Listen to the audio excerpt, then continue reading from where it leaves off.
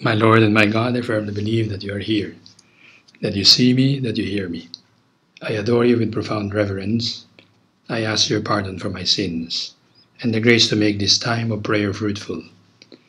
My Mother Immaculate, Saint Joseph, my Father and Lord, my guardian angel, intercede for me. Well, today's gospel reminded me of uh, that song entitled Jenny by the American pop band The Click Five.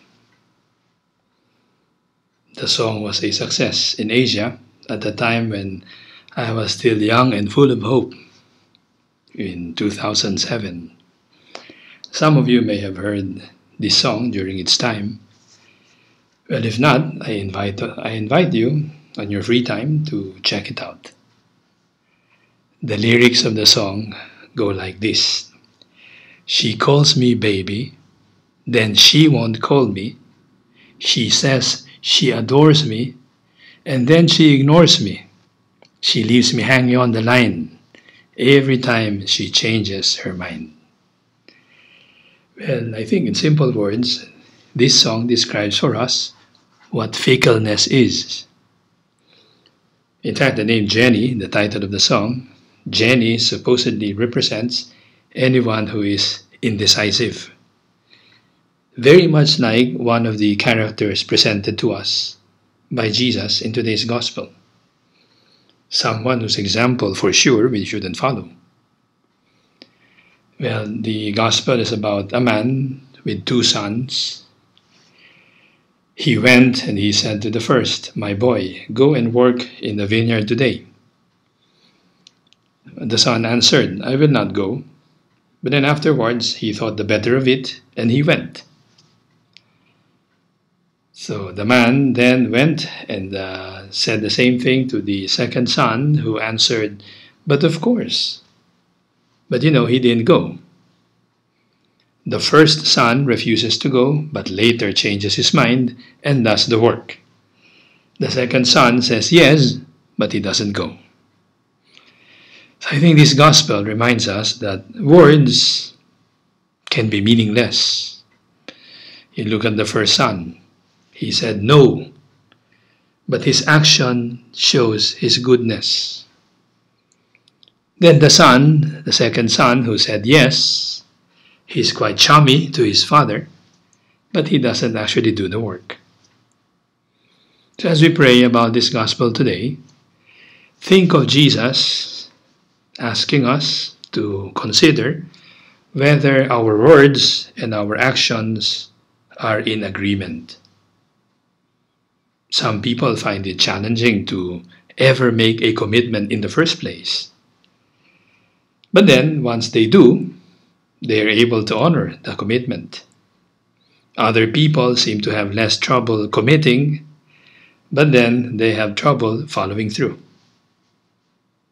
But then also, you have some people who fall somewhere in between.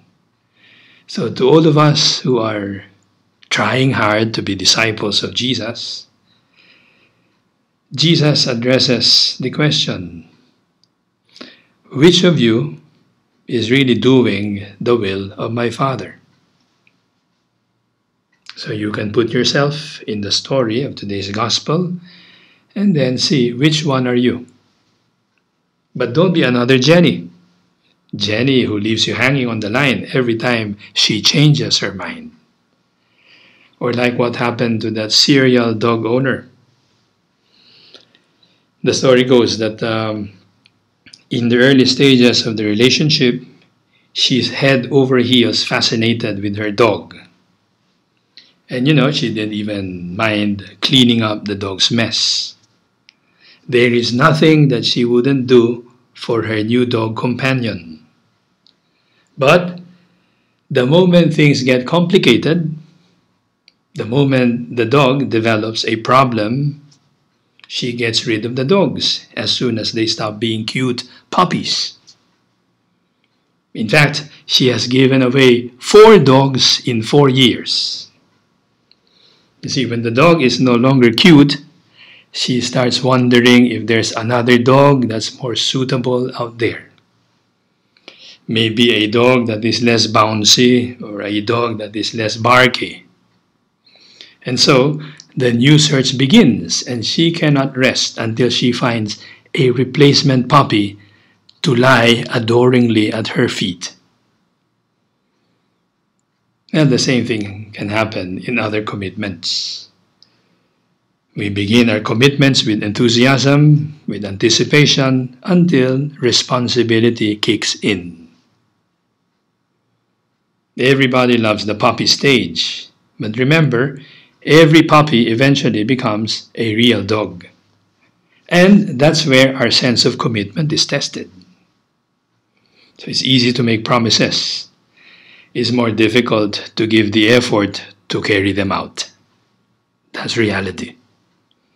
So in life, when suffering comes, when relationships go sour, how is your level of commitment? Commitment to maybe something as simple as being on time for appointments and commitment to the need to apologize if one is late for those appointments. See, this can happen to any one of us. Like, do you ever say you're going to do something and then it becomes a I'll do it later? And then it ends up with you never getting around to do it. To do it. This can happen to us in small ways throughout our life. Think of a normal day. When you maybe tell somebody you'll call him or you'll call her later and then you don't. Or when you put an item on your daily to do list and then the list and the items in the list never really get done. Or those times when you promise to do something for someone and you don't follow through.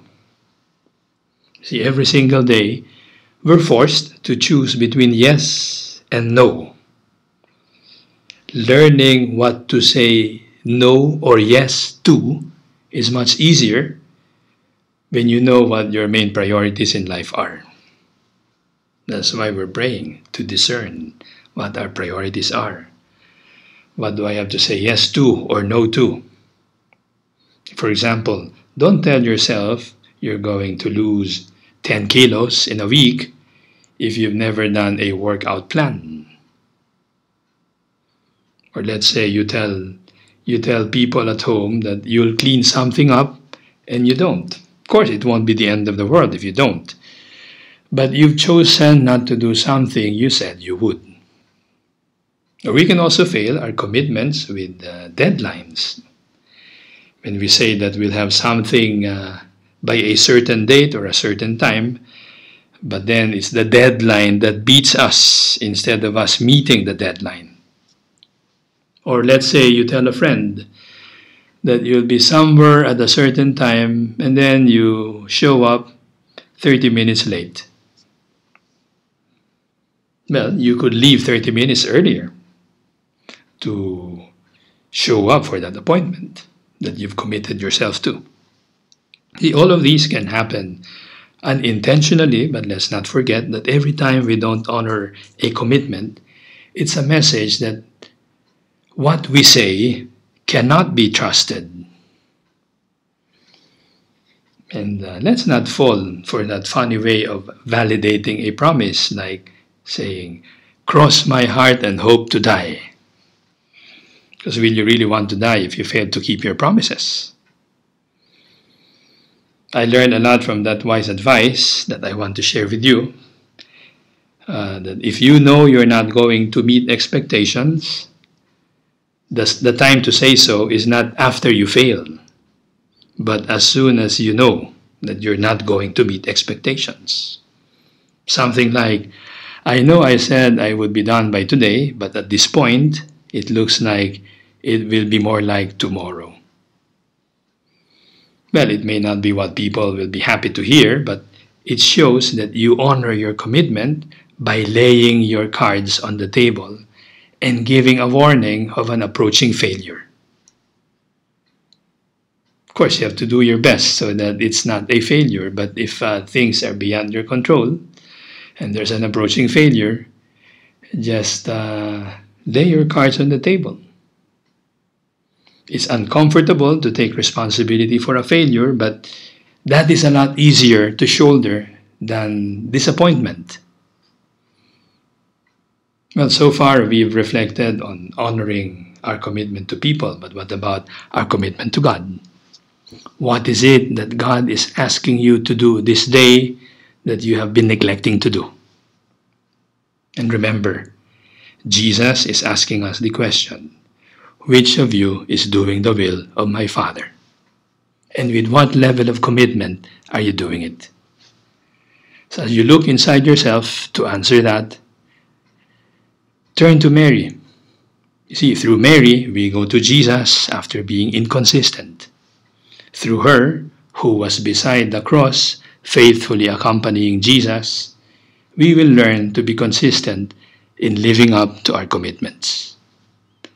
I thank you, my God, for the good resolutions, affections, and inspirations that you have communicated to me in this meditation. I ask your help to put them into effect. My Mother Immaculate, Saint Joseph, my Father and Lord, my guardian angel, intercede for me.